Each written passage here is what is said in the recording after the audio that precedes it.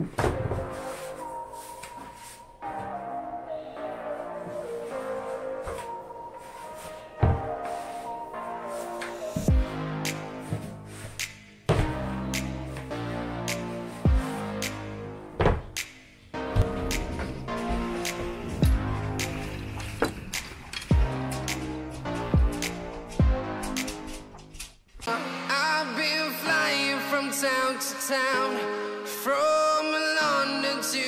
to Taiwan. I've been all around the globe trying to protect your soul. So here's the deal. If I can get out the door here. I got a couple things I gotta do today. It's bright out here. My future's so bright. I almost need sunglasses. So we got snow last night, but not enough to make a difference. There was uh, like an inch on the driveway, and my trigger is three inches. So no plowing. But I do have to go put plow markers up on a couple more driveways um, that I didn't do. And I need to take this tailgate off because it's going to be a lot easier to plow in the winter and see this back blade and where I'm at without that tailgate on there. So that's the plan. Got to get that thing off there and go to Ryan's to get my plow markers because they're in his truck from when we are setting up plow markers on our accounts. So I need to go get them from him, go set up plow markers,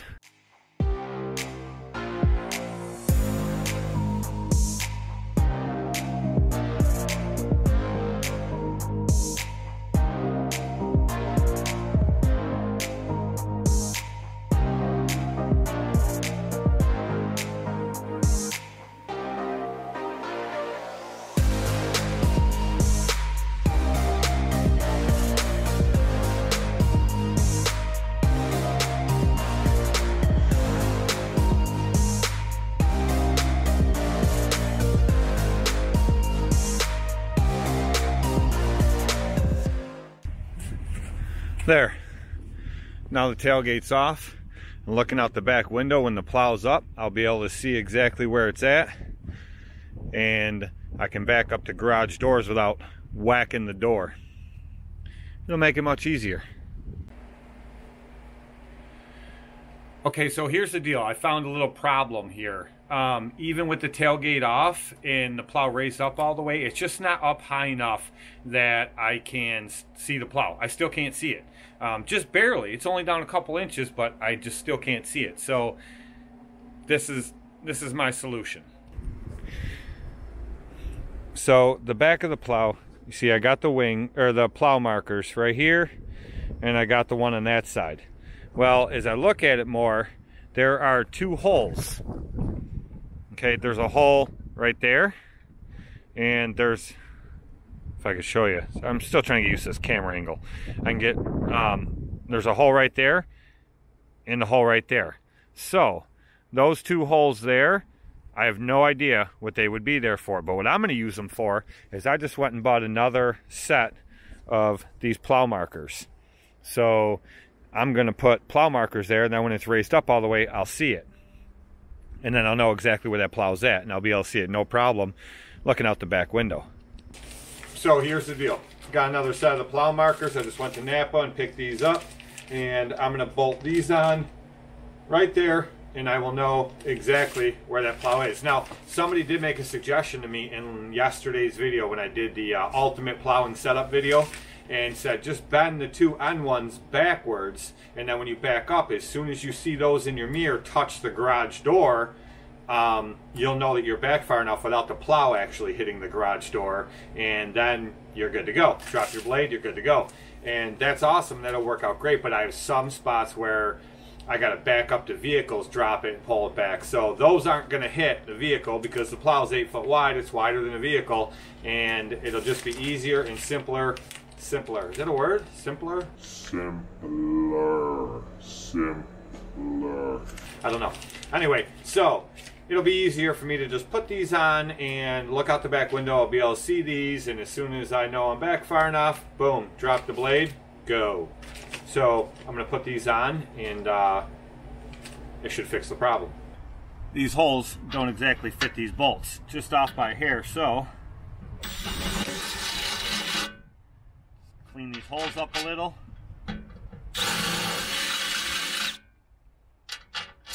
No problem.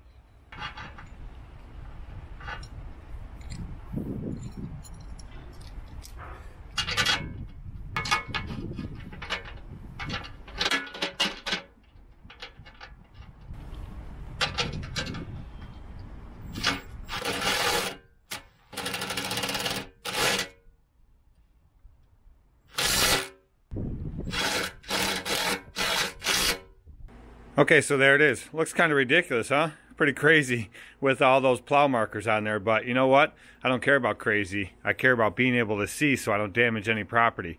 So that's going to work pretty awesome. Definitely visible from the back. Uh, people coming up behind me, but more so, definitely visible from sitting in the cab backing up. Um, I do have, and I plan on putting it on, I have this reflective tape I want to put it on like across the arch there, the edges, just to have that reflective on there. I probably don't need it, but I like the idea of it being there, so um, really not a bad thing to have. So um, I know people are going to ask me, why don't I, uh, I love the way when I move, it just follows me. Anyway, um, I know people are going to ask, why don't you just put a backup camera on there? And if you go back through my videos, you'll see when I had my black GMC 1500 with the Boss plow in the front and the Salter in the back, I had a camera system on the back of there. And the problem I found, because I'm not one of those guys that waits till the storm is over and then goes and plows one time, um, I plow with the storm. If it's a really bad storm, I will plow with the storm. I'll go through my whole route, and then once I'm through it, if it's dropped another three inches because that's my trigger, I'll start all over and go through it all again.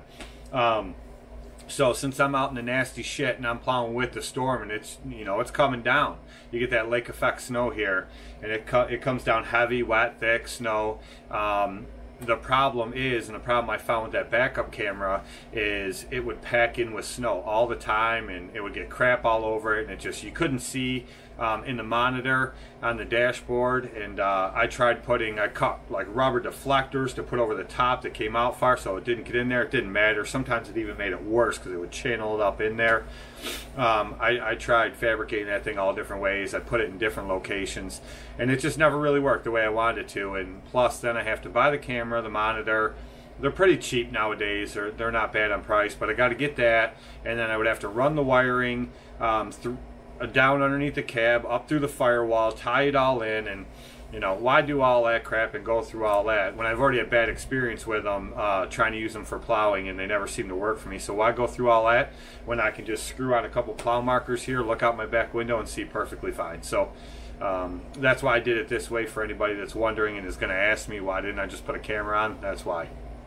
So, not a hell of a lot going on today. The sun is out shining bright, and uh, it's going to be I think 40 or 41 today, and then in the low 40s all the rest of the week.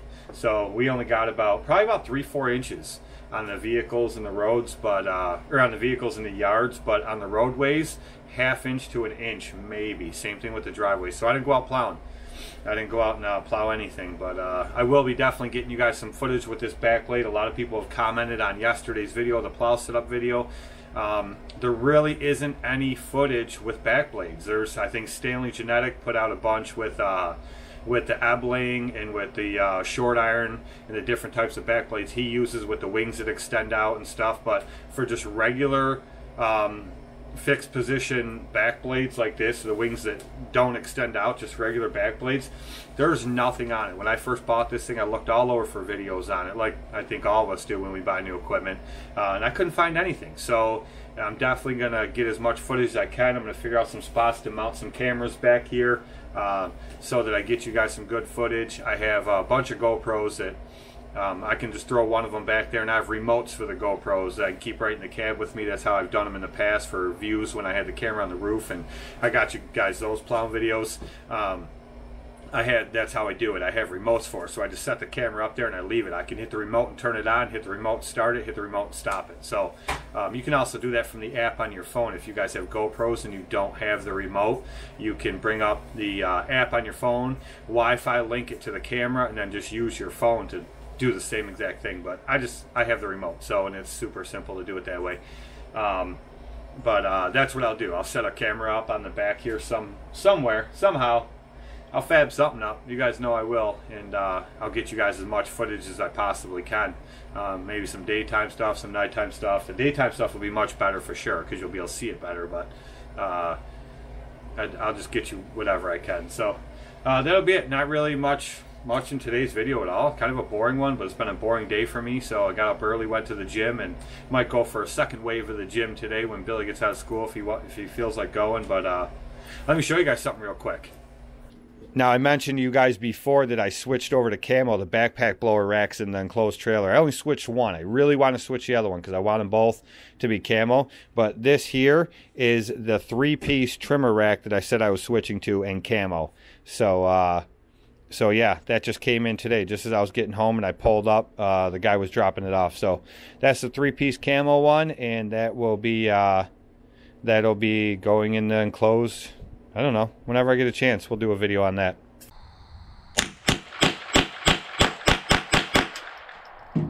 Make sure you hit the subscribe bobbity button, leave a thumbs up, and comment if you want to. You don't have to, but if you want to, you can. We'll see you in the next one.